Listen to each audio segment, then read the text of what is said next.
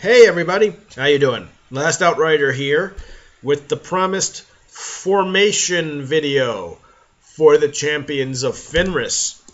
if you remember, I made a it, if it, or if it, you don't know, who are the champions of Fenris? Then I suggest you go watch a six-part video series I made answering exactly that question. Specifically because it wouldn't make sense if I told you here's the company of the Great Wolf Detachment. That's what this is going to talk about. So apparently, in the Champions of Fenris data slate or Codex supplement, there you can have a unique detachment of space wolves called the Company of the Great Wolf.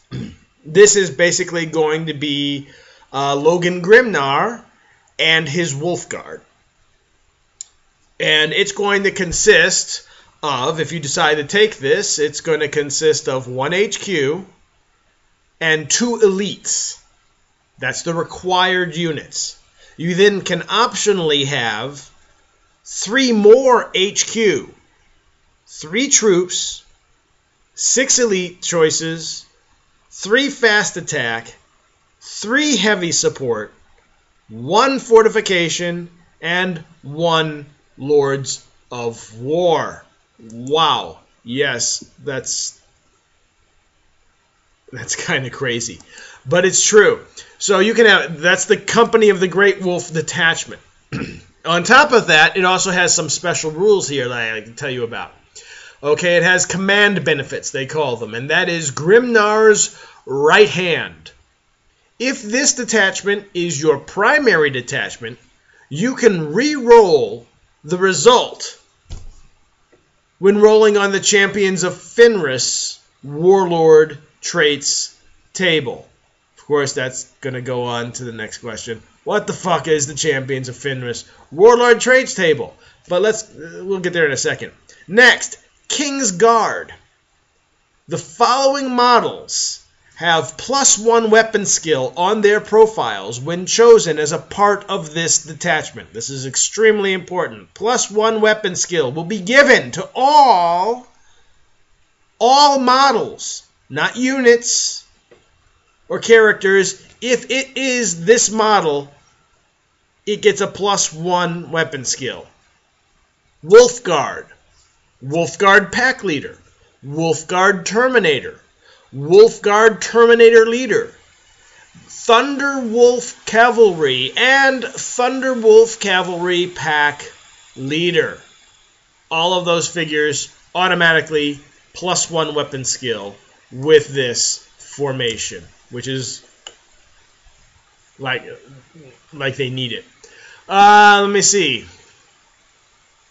Um, let's see. So the formation is the following section details the rules and information on number of formations commonly seen. Oh, that's just basic on what is a formation. Okay.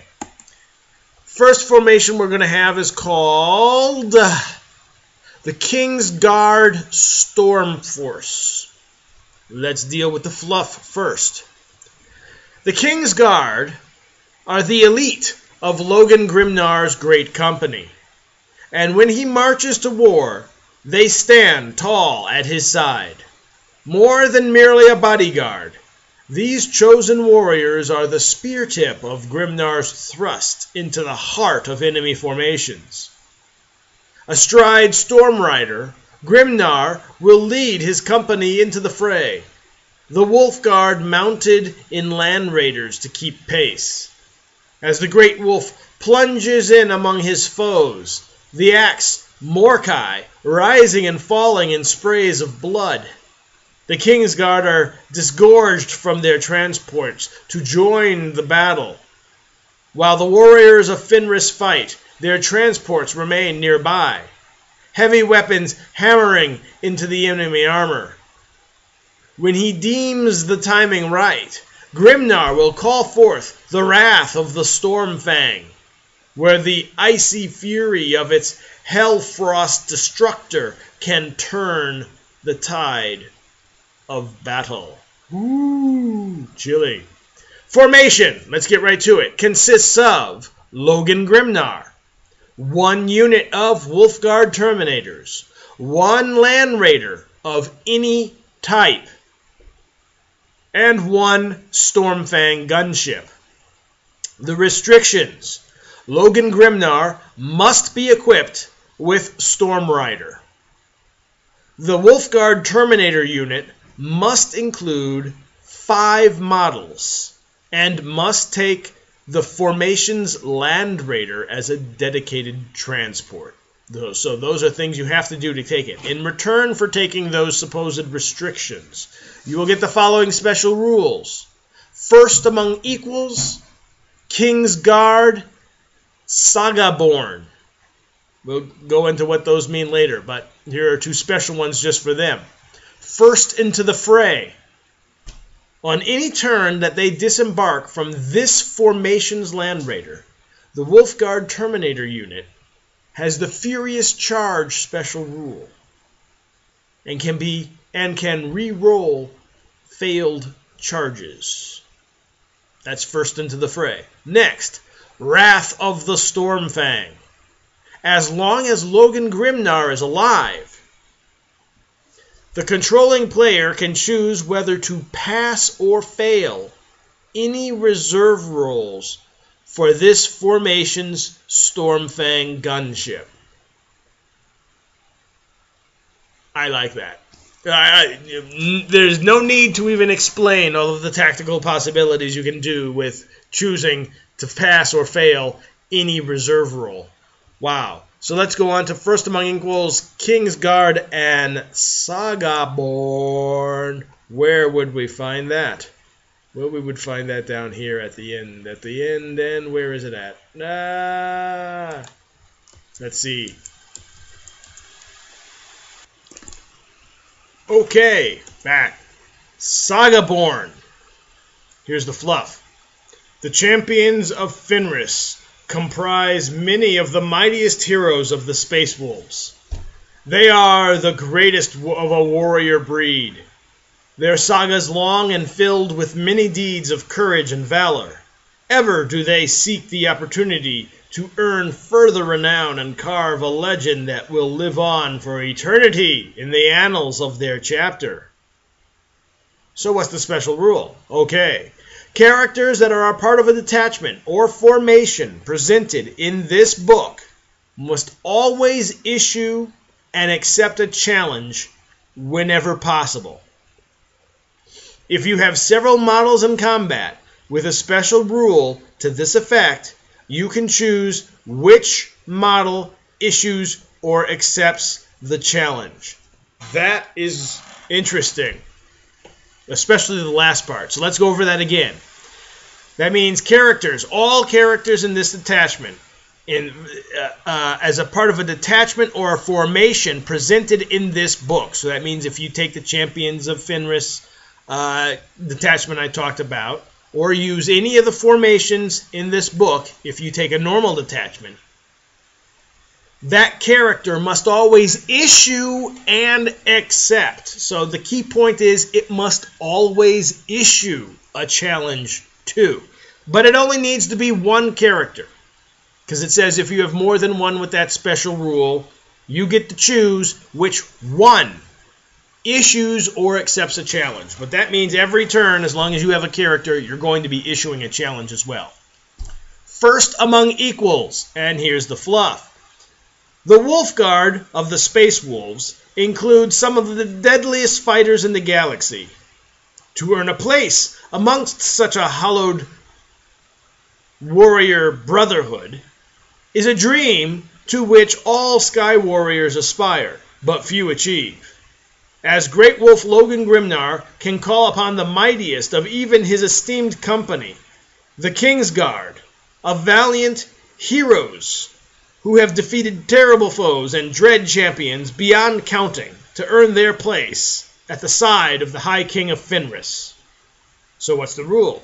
The rule is all Wolfguard battle leaders, Wolfguard pack leaders, Wolfguard Terminator leaders, and Thunderwolf cavalry pack leaders are a part of a detachment or formation presented in this book have the preferred enemy characters special rule when fighting in a challenge. Bazam!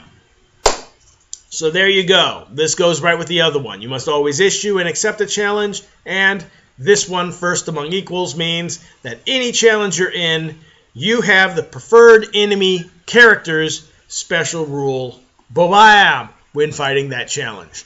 Now, last, just before we end the video, I almost forgot. What are the warlord traits for this freaking formation? Here they are. Here they are. Number one, fire in the blood. Some Sky Warriors never lose their reckless lust for battle, surviving countless years of war and death through wild bravery and warrior's luck. The Warlord can re-roll a single failed saving throw every turn. Bam. Thread Cutter. Some of the champions of Fenris display an instinctive mastery of the killing art. This Warlord saga is thronged with names and descriptions detailing the countless foes that have died by his hand. When fighting in a challenge, the Warlord re-rolls all failed to wound rolls. Nice. Very nice. Gatekeeper. This Warlord bears the honorific of Wow. Uh, D Y R V O R D R. That's the word. D Y R V O R D R. Gatekeeper of the vault. The great wolf has entrusted him with stewardship of the Fang's main weapon vault and one of the ancient relics stored within. Nominate one weapon carried by your Warlord. That weapon has the master-crafted special rule. Note, however, that this cannot be applied to any relics of the Great Wolf. I'm going to have another video on that, but they have a whole relics of the Great Wolf here, uh, which is quite nice. Blessing of the Wolf. The Canis Helix takes root in each Space Wolf in a different way.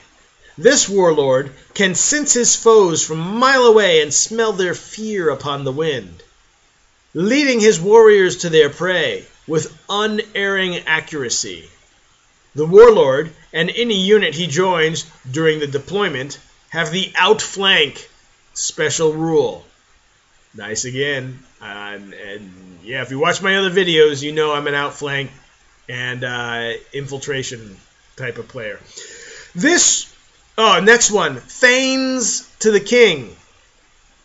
This warlord has fought alongside Logan Grimnar for many centuries. He would rather die than face failure in the eyes of the Great Wolf.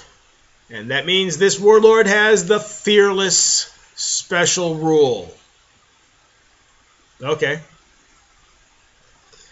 I think that actually the, the other one's a little better, but deeds beyond counting. This hoary old warrior has seen many lifetimes of war. He has fought and defeated foes of every kind, enemies of every description. His saga is long and full of glory. The warlord has the preferred enemy special rule. But I am.